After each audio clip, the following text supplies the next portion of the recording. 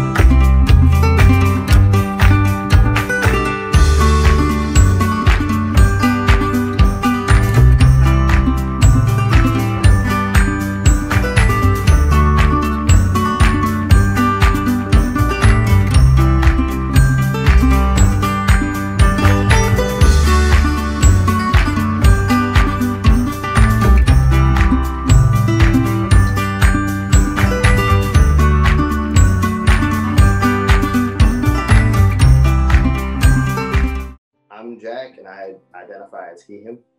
And I'm Jace, and I also identify as he, him. Shocker. we grew up in a Christian home. Our parents were very involved in the church. We went to private school our entire life. Anything that was trans, LGBT was a very uh, foreign concept to us. I don't, I wouldn't say we knew that we were trans. Like we knew something was up, but we didn't really know the term or the word to describe it. We were particularly like masculine.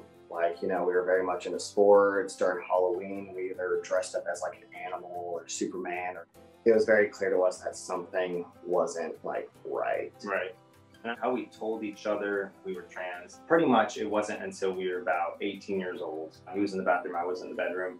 Um, I'm just scrolling through Facebook. So I see this post. I see this post, and number one, I'm, I'm completely shocked. I'm confused. I'm also in a sense relieved because the post pretty much comes out as saying like, hey, I'm transgender. So at that point, I pretty much told him that I felt the same way. I've been feeling the same way since the beginning, like our entire childhood, everything. I, I, felt the same way. But I was too scared to tell him for pretty much the same exact reason, a, a, a poor reaction of just anger, disgust, um, rejection, you know, completely ruining a, a very close relationship we came to the part where, okay, so now we know we're exactly the same. We feel the exact same. We're in the same boat.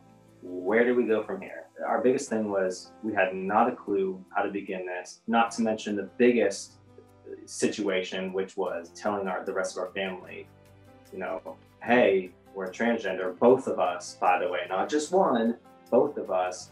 Our parents were upset about it. You know, they kind of battled with it for a little bit. But yeah, it's like the the stage of grief initial shock. a yeah. shock, sadness, anger. So they did come around. Uh, it's all good now. We have a great relationship with our parents. They have a great relationship with his girlfriend, my wife. So everything's all all good right now. No matter what, you're not going to change, and no one's going to change you. So just be informative, and if you know they don't want to open up to it, they don't want to open up. And that's on them. Whatever. Screw That's it. on them. If they want to lose that relationship with you, it's on them. Continue to do what you want to do and what you feel is right for your life, because it's not anybody else's. It's your life. Hi, I'm Frank, and this is my weight loss journey. My doctor said my blood pressure was ridiculously high, and he said that I could easily have a seizure, a heart attack, or worse. It was only that high because my weight was out of control. I have two kids that I truly wanted to see grow old and get married, have kids of their own one day all of that played a major role in everything I had to do to maintain a healthier eating habit. I had a goal that I wanted to reach, and by all means, I was going to reach that goal. Every day, I try and wake up around 5:30 and have plenty of time to work out. The more I went to the gym, the better I felt. So far, I've lost 100 pounds. So many people helped me, motivate me through my journey, and help me reach my goal and they're still helping me maintain my goal. I'd like to keep helping people reach their goal and help people realize that there's a better way of living. And I've incorporated that in my store. We all collaborated together with the Blue Zone Project and made a major change in the store. We've learned to put fresh first, and that has helped people make better choices anybody trying to lose weight, the best thing to do is set small goals. Don't think that you're going to lose weight overnight. Maintain portion control. No matter where you go, there's always a healthier way to eat. Motivation is always key. If you keep your eye on where you want to go, you'll get there. I've achieved my weight loss goal. You can do it too. I would say definitely, without a doubt, the most important and the most valuable thing throughout this entire transition was having a twin, having that support.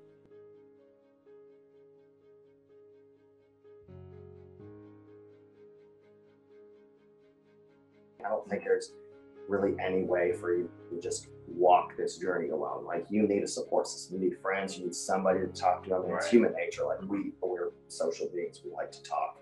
It's always healthy to talk about this stuff. It's always healthy to have friends support, and it's a really big thing. It's a huge life-changing thing. Having that support it helps you come out and do what you're afraid to do. Because I feel like if we didn't have that support, we'd be we would have experienced a really dark place where we probably would have felt depressed. We probably would have been potentially suicidal. But because you have someone there who is experiencing that same thing, even sharing the same exact parents, so you know you're you're literally experiencing the same exact reaction, like to the T, like the same thing. I think really helped us, you know, be a crutch for each other, be strong for each other, and have enough bravery to pretty much, you know, have each other back and, and go through this, even though we have so much negativity going on at once. Have the, you know, pretty much metaphorically holding each other's hand to walk through this journey together. I feel like we saved each other from, you know, really feeling like depression or some of the hard stuff that a lot of trans people who don't have this kind of support feel.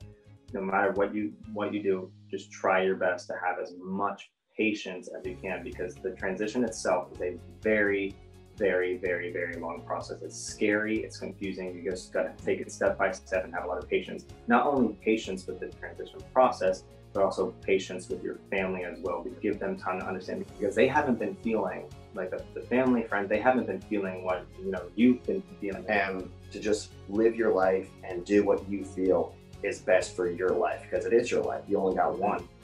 So why live it un- unhappy? Why live it, you know, for someone else or for someone else's opinions or anything like that? Live it for you. Live your life the way you want.